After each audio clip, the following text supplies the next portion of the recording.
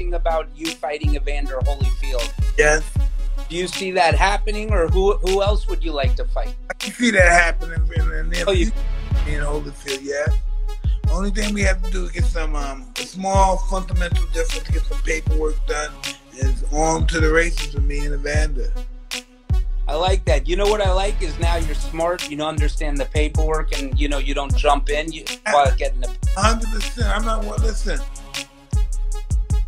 I've learned so much. We don't need promoters. Promoters, they're, they're what if what's a promoter? Overrated cheerleader. Overrated cheerleader.